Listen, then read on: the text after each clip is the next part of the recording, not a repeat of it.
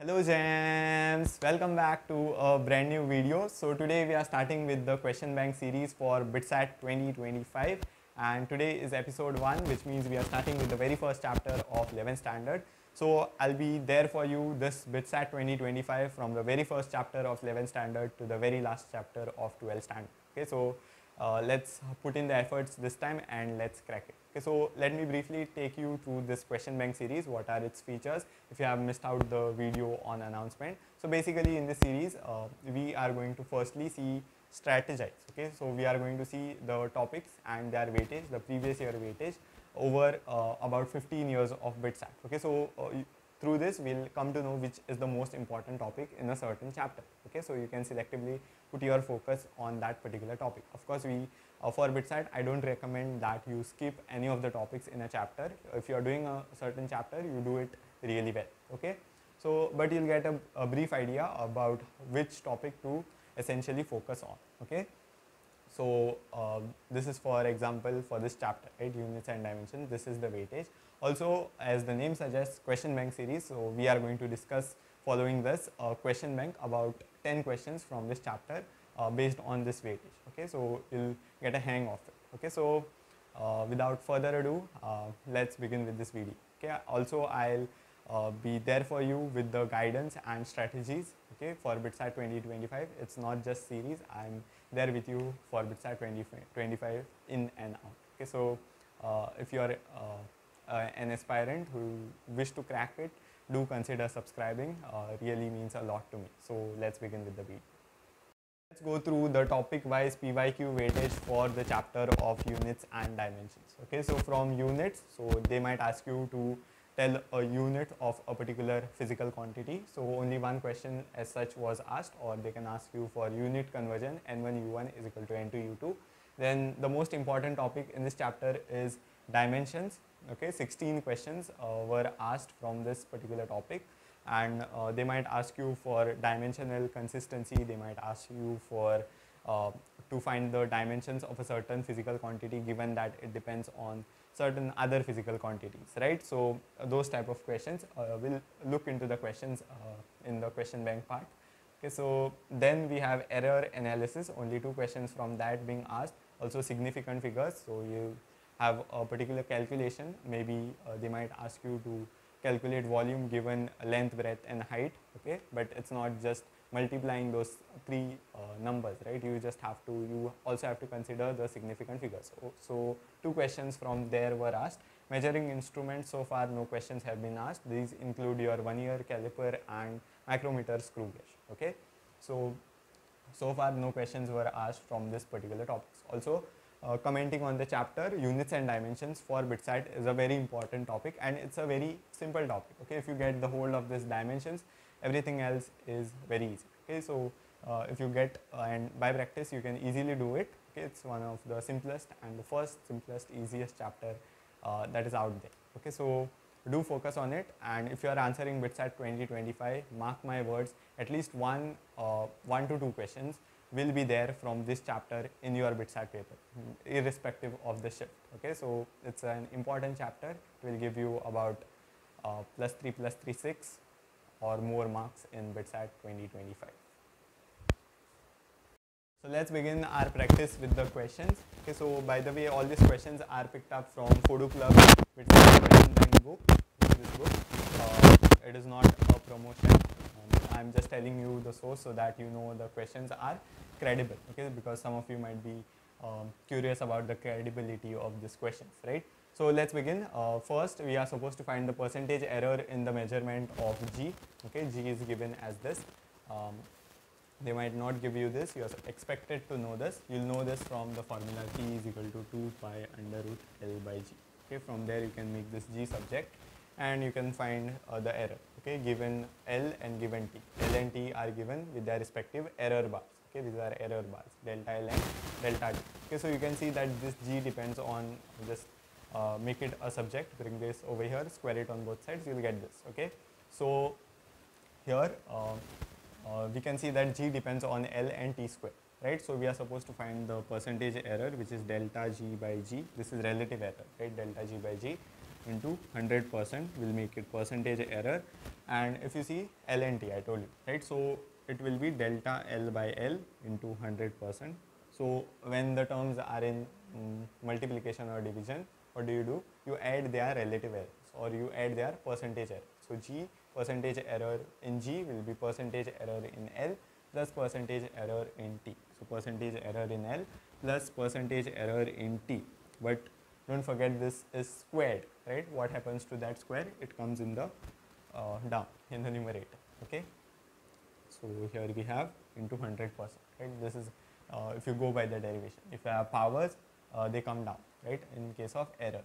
Um, and um, okay let's calculate this. Now what is delta L? This is delta L right? This is L delta L L with its error bar okay? So this is the error bar delta L. So 0.1 divided by uh, what is that? 10 so it is like 1 percent that uh, plus so 2 into 1 upon 100 so again 1 percent and into 2 into 100 right? So you can see this and this will get cancelled. 10 cancels this. And 0.1 into 10 is 1 so 1 percent over here plus uh, this is cancelled. So 2 percent. Right? So 2 percent plus 1 percent is 3 percent. Okay? Which is option C so 3 percent quite straightforward questions you are just supposed to know the logic right the logic of error analysis let's come to this one more questions on errors so the error in the measurement due to unpredictable fluctuations in temperature and voltage are. Now the keyword over here is unpredictable fluctuations. Okay, uh, you can see all of this. Some of them, most of them are systematic, right? You can predict its source. Like if you see instrumental errors arise due to instruments, right? Um, um, due to uh, wrong calibration of the instrument, you can say you can have zero error, right? Uh, the, scale, the scale is not set to zero at the initial reading at zero. Okay, so these, these errors are due to instruments. They are sources predictable. You can see personal errors are due to personal bias, right? You might be inclined to take one this reading uh, as preferred uh, preferred over some other reading. This is personal bias. Okay, the uh, you can pinpoint the source. Okay, so predictable source. Least count due to least count of the instrument, right? Uh, suppose vernier caliper, it has some least count, right? It cannot measure decimal places beyond that. Okay, so it's the very nature of that instrument, least count, right? So uh, again for this three you can predict the source. For here they are saying it's unpredictable fluctuations, right? So which means of course the errors should be random. You cannot predict them, right? It's happening randomly. You can't predict the source of that error. This these three are quite systematic. That will be the right term, okay? And uh, one more uh, key fact I'll tell you that in order to reduce random errors, you can take multiple readings, okay, more readings and then take the average so that you reduce the randomization. So every time there is some random error, but uh, the errors are random every time. Okay, so they'll cancel out each other when you take the mean. Okay, so uh, the key to reduce your random errors is to take multiple readings and then take the average. Okay, though that's about these two questions. Over to the next. Question 3 and 4 over here. In question 3, we are choosing force, acceleration and time as our fundamental physical quantities. Okay, and then we are supposed to tell the dimensions of energy. Okay, this is one more classic way of asking you a question regarding dimensional analysis because you can do it simply by the same logic. So the dimensions of energy you are supposed to express it in terms of force. I'll use x, y, z because there is a for acceleration. So force, acceleration and time, right? So you can do it this way. Okay, so uh, even such questions are done using dimensional analysis okay so uh, now this proportionality you can replace by equality right? And uh, what is the dimensions of energy? Mass into velocity square half mv square right? So mass into velocity uh, which is length per unit time. So l to t raised to minus 2 okay? Uh, i expect you to know uh, certain dimensions by heart like the energy force okay? Those are simple quantities and you are expected to know them by heart uh, force is mass into acceleration. So mass into acceleration m uh, into lt raised to minus 2 x and acceleration uh, is lt raised to minus 2 y and it's dependent on time to the power z. Okay? So we are supposed to our objective is to find this x y z right? So we'll know how they are dependent how the energy can be written in this format. Okay, so uh, if we see what are the powers of m, only x over here, right? L we have uh, x plus y, right? Okay, so L will have L to the power x and L to the power y. So same base, add the powers, right? x plus y. And for t, you can see it is minus 2x minus 2y from here and plus z, right? So these are the different quantities, okay? Now we can relate uh, this and we can compare the coefficients, right? m, m. So m has power 1 on the left hand side, so x should be equal to 1. So we'll get three different equations. Here second equation will be x plus y is equal to 2, right? Which implies x, uh, x is 1, so y should also be 1, 1 plus 1, 2, right? And finally we'll have minus 2x minus 2y plus z is uh, on the left hand side we have minus 2, okay? So this will give us, so x and y both are 1, right? So this is minus 2, minus 2 plus z is minus 2 right? This and this can cancel. So we will get basically z as 2 right?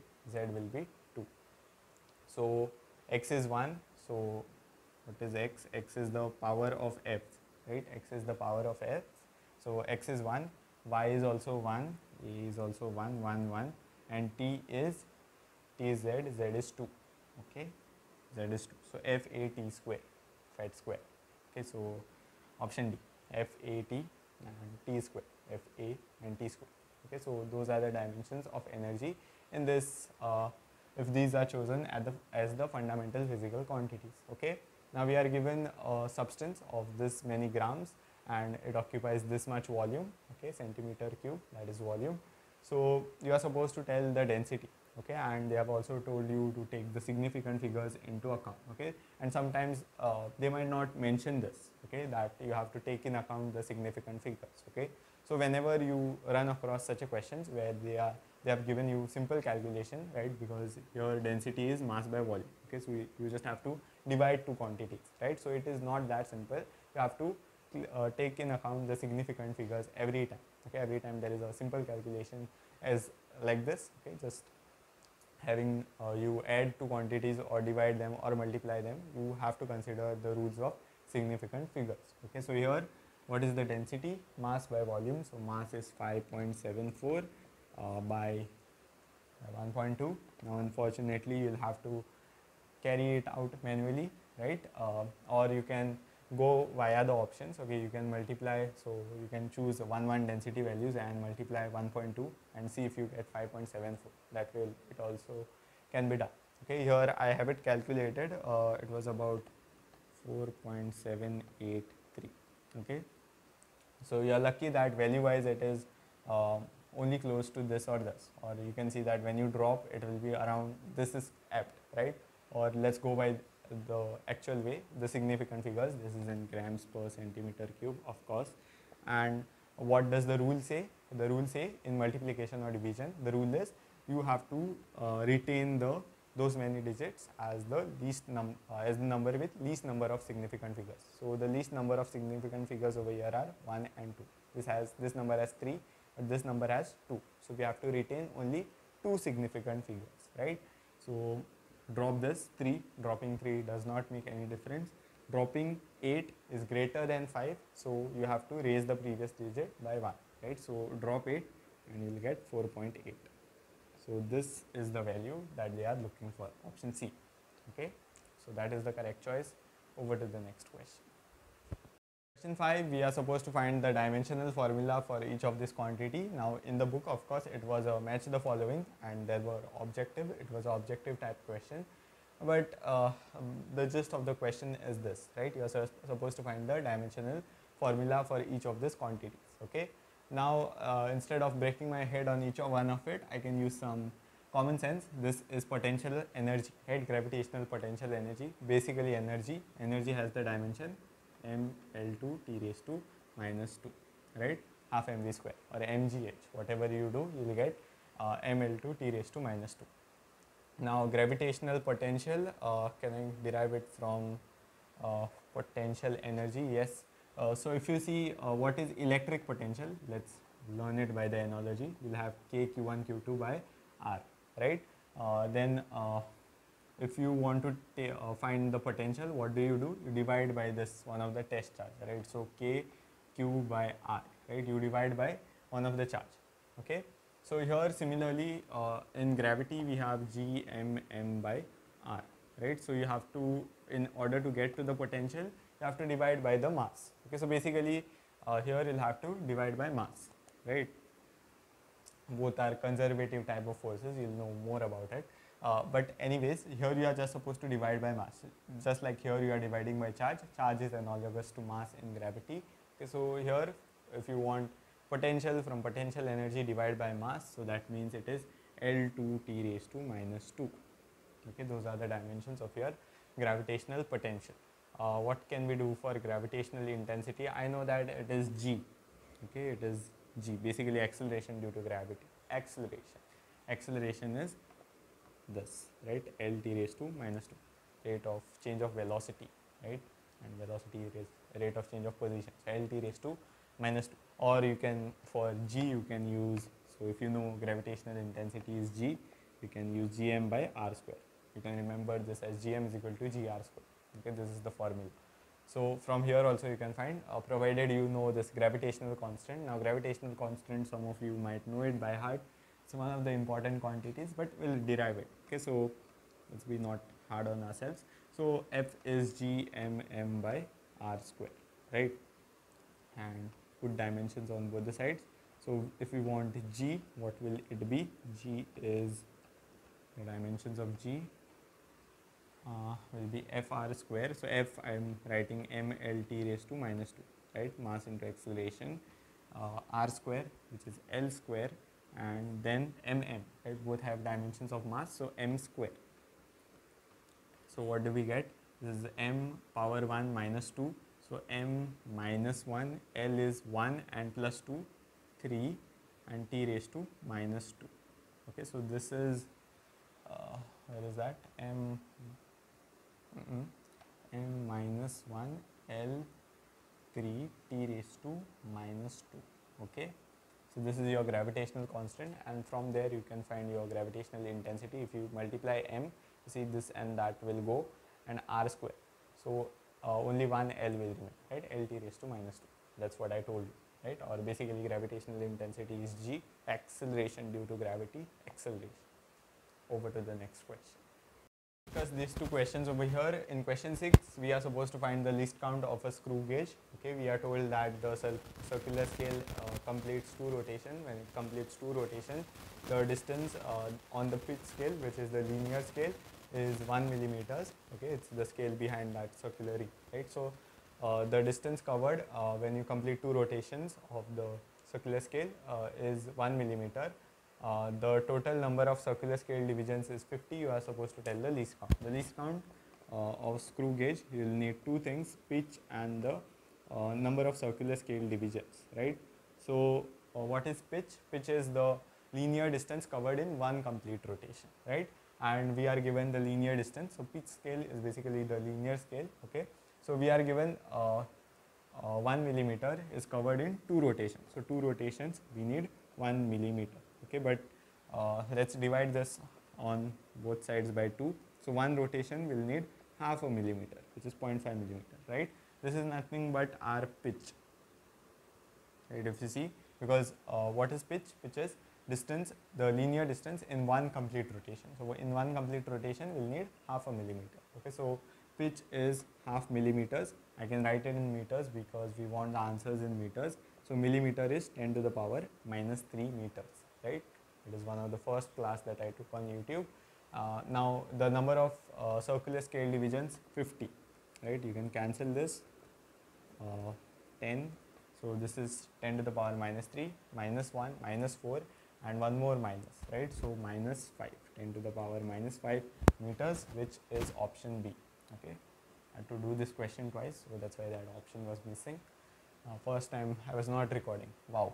Uh, uh, let's come to this question. Here, question 7, we have been given uh, to, we are supposed to rule out those expressions of kinetic energy which are dimensionally not correct. Okay, so rule out using dimensional analysis. So basically, the question asks you to ma- uh, to match the dimensions on both the sides. Okay, it's not quite necessary. You can just see the form, look for the form, right? Half mv square. Okay, so let us see uh, if uh, our expression matches this form, half mv square. You can take dimensions on both the side That would be more rigorous, better way of doing it. But let's match the form. If it matches the form, it is kinetic energy, right? Uh, now, uh, first one, if you see, it is m square v cube. Okay, not something like that. Okay, so it cannot uh, be dimensionally correct. Okay, it is incorrect.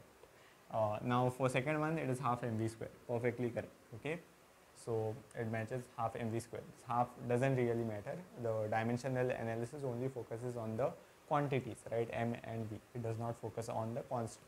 Okay, let's see this one. This one is MA. MA is force, right? Force and energy don't have same dimensions. So this one also you can say it is dimensionally not correct. This one if you see 3 by 16 mv square. Is this correct? It is, okay, because it is of the same form. The constant does not really matter as I told you. Okay, so it is of the form mv square. That will give you the dimensions of energy. Here if you see you are adding energy and something of the form of force, right? You actually cannot add such quantities, right? Only two quantities with the same dimension can be added, right? Uh, this is also dimensionally inconsistent. Okay, this is this cannot represent energy. Or you are adding energy. This is energy, fine, but this is not energy. So you can rule out A, C, and E, which is option D, A, C, E, A series, one of the best series for BITSAT available on YouTube. Do check it out. Shout out. Okay, so over to the next question. Question 8 and 9 over here. Here we are given an equation, very simple one. Half mv square is equal to mgh, basically energy conservation, right? Kinetic energy equal potential energy. We are told that uh, all of the quantities have their usual meaning, mass, velocity, acceleration due to gravity, height, okay? Uh, you are supposed to comment about the equation. Is it dimensionally correct, incorrect, cannot be checked by dimensions or the data is insufficient, okay? You can clearly see that it is dimensionally correct, right? Um, because here also we have energy, here also we have energy. You can also check the dimensions, you will get mlt raised to minus 2, ml2 t raised to minus 2, okay, on both sides, ml2 t raised to minus 2, that, those are the dimensions of energy, okay, so of course this equation is dimensionally consistent or correct, okay, so option A is the correct choice over here, there is no two ways about it, okay. Uh, let's come to question number 9 here we have a physical quantity A that depends on A, B, C, D. Okay, the percentage error in each of these is given. So, uh, just like the first question, 1%, 3%, 2% and 2% respectively. You are supposed to tell what is the percentage error in A.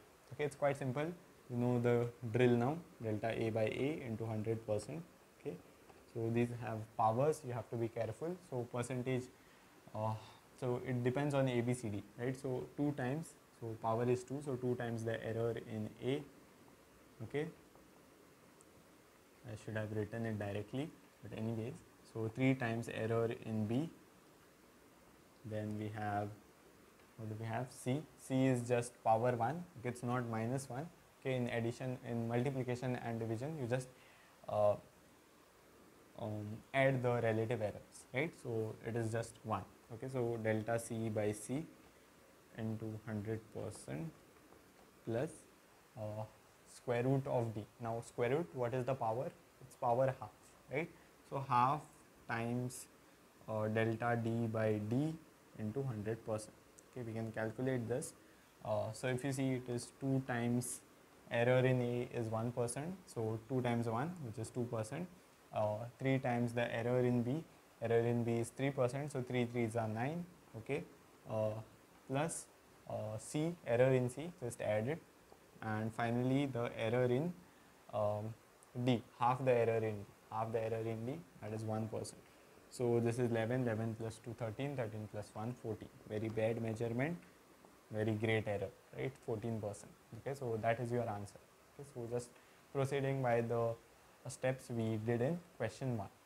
Over to the next Question 10 over here, we are given a dimensional formula. We are supposed to tell to what physical quantity does this dimensional formula belong to. Okay, this is the final question for the day. Uh, pets on your back if you made it this far in the video. Okay, so stay motivated and let's do good this time. Okay, so uh, let's come to the question here. Uh, if you see these quantities are very complicated to get the dimensions of. Okay, so one of my suggestion is to uh, remember one of the easiest way to derive these quantities. Okay, uh, I'm about to tell you a few of those. Like for electric uh, electric permittivity, it's not very simple. Uh, you can go by Coulomb's law only. So here you'll have k uh, q square by r square, right? q1, q2. But yeah, for dimensional purposes, we can write like this.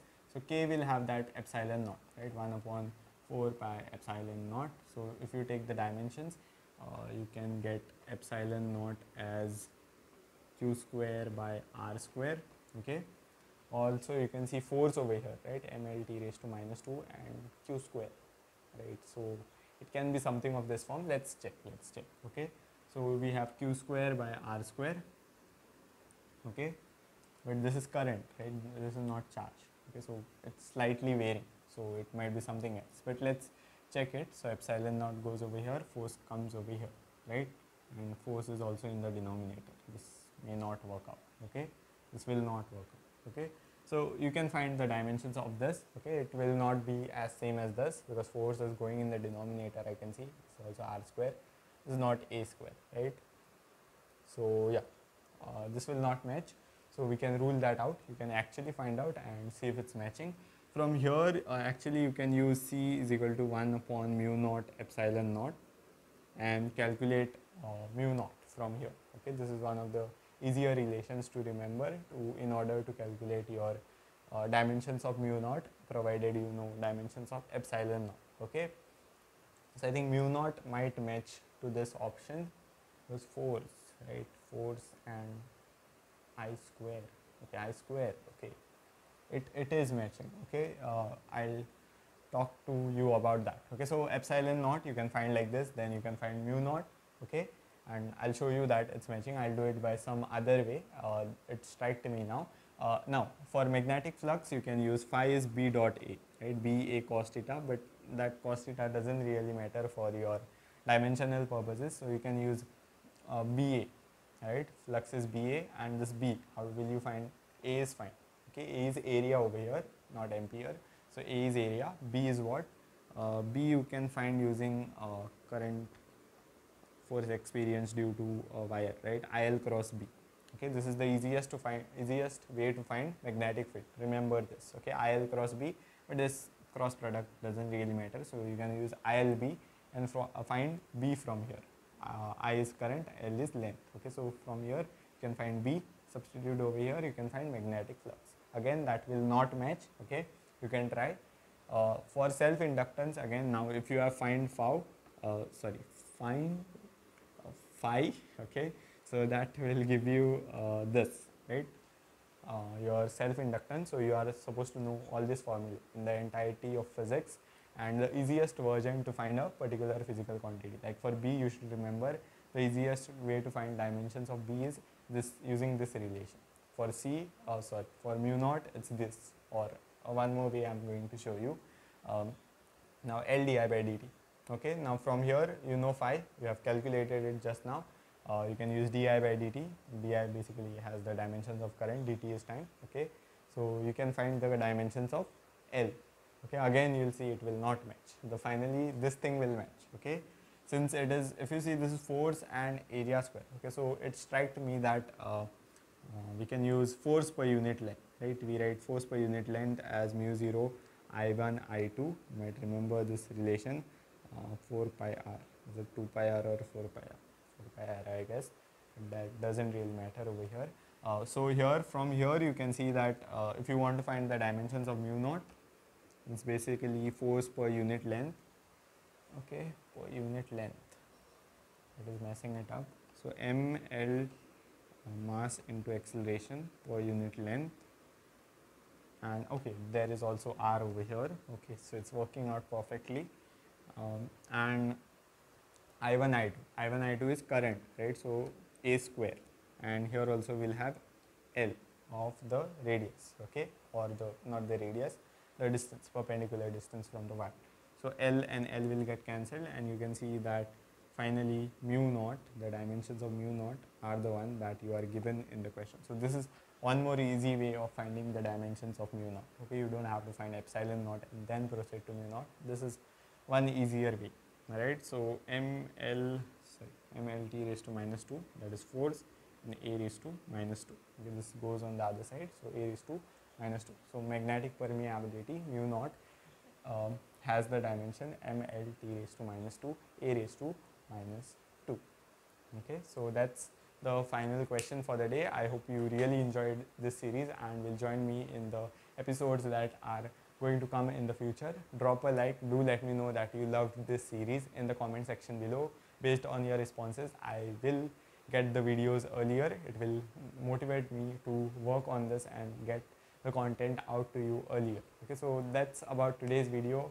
Uh, I hope you really enjoyed it. I'll see you soon in the next one. Till, till then, keep enjoying physics.